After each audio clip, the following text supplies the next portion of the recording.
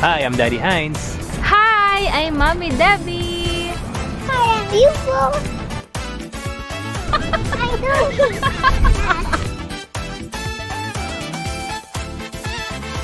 Hi guys! Ayan. Ay, wait lang. Tita Gemma pala. Wait, wait, wait. Ayan guys, maglilipat bahay na kami. So, pasensya na yung itsura ko ah, kasi tinry ko kasi yung binili kong mor Morphe na eyeshadow and wala naman akong masabi kasi sobrang ganda talaga. ah. ayun, nag-invest talaga ako ng magandang eyeshadow and yung pinili ko is talagang sabi ko magagamit ko na medyo malikod, ma malikod, maguling likod guys kasi nga mag ay, naglilipat na kami. So parang yung iba nalipat na namin last week, ito na lang yung mga parang siguro one-fourth na lang and then okay na. Ayan, na bumili ako sa Makeup Science sa Shopee nila ng Morphe, yung palette nila kasi super sulit and then ayun, ano dun yung mga gusto ko puro shimmer, may mga mattes and then ayan, sabi ko nga after ng school ko, naantok ako. After ng school ko guys, ang ang fo- ifo-focus ko naman is makeup. I mean, yung gusto ko talaga as in gusto ko na mag-practice kaya ayun, ah, and then syempre may maganda na tayong background sa bago nilipatan naming house as makapag ano na ako doon. Madalas na ako makapag-film kasi maganda yung background, maganda yung pesto ko doon kaya sobrang excited ako. And, ayun, bago ang lahat, bago kami namin ilipat, may pupuntahan lang kami muna dahil bibili kami ng mga kulang sa house like yung ano, yung pang ano yan, pangligo kasi walang heater doon, ah, shower medyo mahina. So, ang gagawin namin, bibili kami ng mga balding maliit kasi medyo maliit ang CR doon. So, basta ipapakita ko na lang sa inyo pag ano, pag ando na kami. Tapos, Yun, meron namang microwave doon kaya wala kaming problema dahil may init na namin yung food namin. Ayan. Tapos, ano pa ba? Hmm, yun lang. Yun, yun lang naman yung update ngayon guys so far. And then, naalis muna kami and kakain muna kami. Although may food kami dito pero magde-date lang kami saglit ni daddy tapos maglilipat na. Yung mga iba naman nalipat na. Kaya sabi ko huwag tayong maglipat ng sobrang init kasi third floor. third floor yun guys. So medyo ano medyo ah medyo mataas kasi yun guys. Ang hirap mag-akit pa na sa, elevator tapos mainit. Kaya sabi ko gawin mo natin yung mga agenda natin yung mga kulang sa bagong house. Tapos, ayun, para makapag-ready na, ba And ayun, thank God. ah, at makakalipat na rin kami kasi ah, hindi na rin talaga healthy doon sa amin. Tsaka ko na lang ikukwento kaysa maubusan kami ng pasensya ng yung pasensya alam niyo hanggang kailan tayo magpapasensya hirap.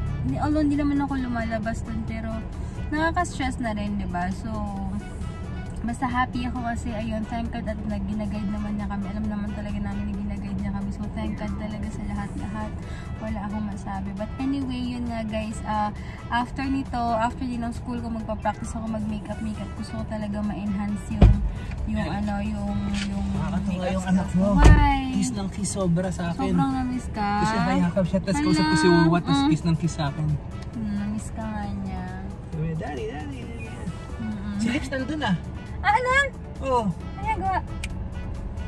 wait Ito na lang, no? Dalawa? So, sinabi ko sa kanila na happy rin tayo kasi mga, pero hindi ako nagbigay ng too much info. Sabi Right, ko right. lang na lilipat na tayo kasi mas healthy lilipatan natin, mas tahimik and sabi ko mas okay na rin na aalis na rin tayo dyan para rin sa peace of mind natin. Kasi 'di ba kung ayaw din naman natin sa sitwasyon na mga kung ano-ano man. Although wala kaming kaaway doon or what, may mga pasaway lang pero sa akin sa amin lang is syempre kung gusto Mga nyo- neighbors? kung gusto niyo ma kung gusto niyo mabago yung surroundings niyo, yung life niyo, syempre tayo yung gagawa ng way, 'di ba?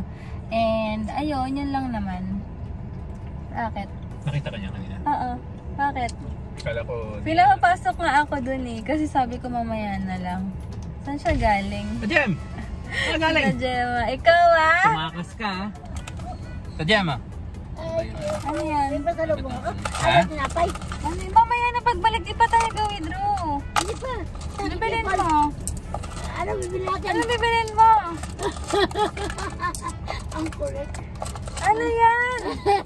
Daddy! Bibigyan tayo mga Maria eh. Salamat kuya Paul. Oh, Ah, dami 15 pesos to. Bili ka ng coke mismo para sa mamaya. Ah, mamaya bibili ako. Mamaya, Mamaya, dadagdagan ba't ngayon na? Mamaya, Pwede, pwede. Sige, dadagdagan ko pa yung bibigay ko sa kanya. Itago mo, itago mo. Ma, oh, si Oh, face Paul. mask. Mas si Heinz, oh. Ba't wala kang face mask ta, Jem? Bili ka na. Ma, kitang-kita mo yan, ha? Kinukonsinti ni Paul si Tita Jem, ha? Wala. Kaloka to. Ano yun? Sa'yo. But anyway guys, sobrang happy kami kasi first night namin later. Thank you Lord. And mas tahimik na, walang mga kuanik-alik mo iingay doon. walang storbong mga, ano mo yun, nakakatuwa. Kung alam niyo lang kung gaano kami kasaya at ka-excited sa lahat. So, wait, wait lang guys ah. Grabe naman ito, ang traffic. Hi guys, ayan, andito kami ngayon sa SM. Kasi nga may, may bibilin kami ng mga kulang sa bahay. Kaya na madalian din or biglaan din. Pero syempre, kakain din kami. At mag, gusto mo mag-coffee late, later? Okay. Starbucks. Magbukas na? Matik, matik pala guys. So ayan, hindi ka na daw dapat tinatanong. Ito yung ganap ngayon sa SM. Marami ng tao. May mga nagbubukas na oh.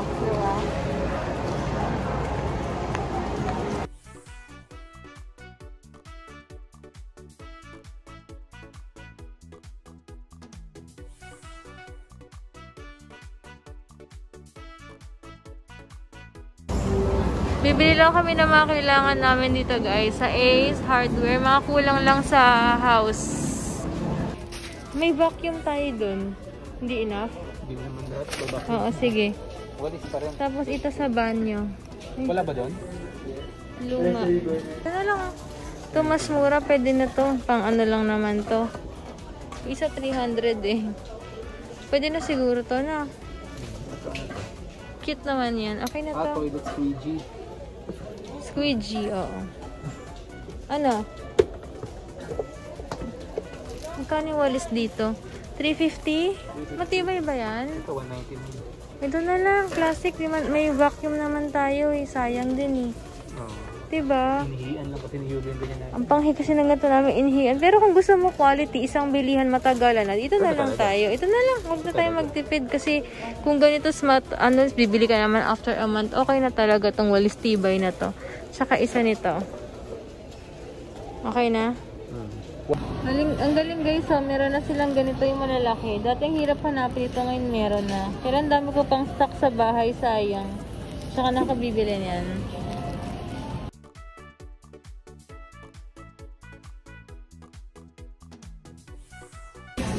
Okay, so... Kaya ito yung binili ko? Wala silang mayo. Ito yung extra nila. Ah, okay. Tapos meron din barbecue Pero hindi ko naman ito maubos. Check, check man natin to.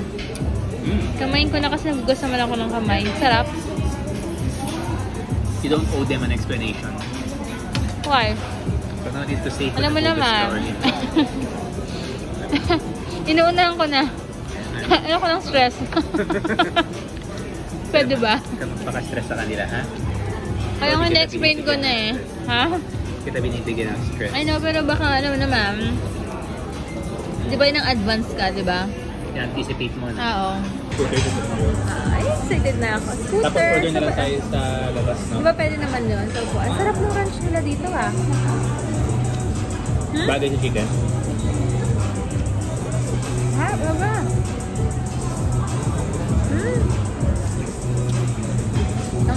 ng ranch sauce nila. May choices, may barbecue, may iba-iba pa eh. Pero pinili ko ranch sa'yo. Like it? Thank you. Kasi in-order ko kay mama. Cake kami. Linis na ng salamin. Pagas na kami, gas. Gas, guys. Gas up, gas up. Ang sipag nila dito, pati yung gilid. Oh, usually kasi harap lang. Ayan. The best.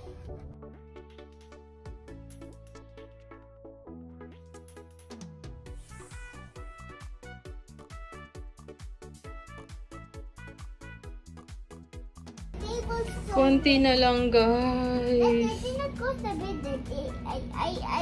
What? Ang bilis ng wifi dito, guys. In fairness. May sariling wifi dito.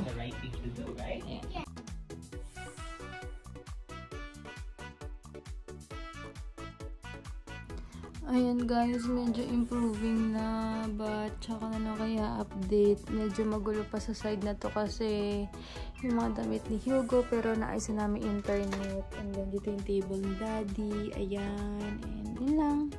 Ito, hindi pa namin naayos yan. Pero ito, super linis na itong isang room. So, yun lang. Good night guys. Kailan ko nakikita niyo ako. Hi. Good night.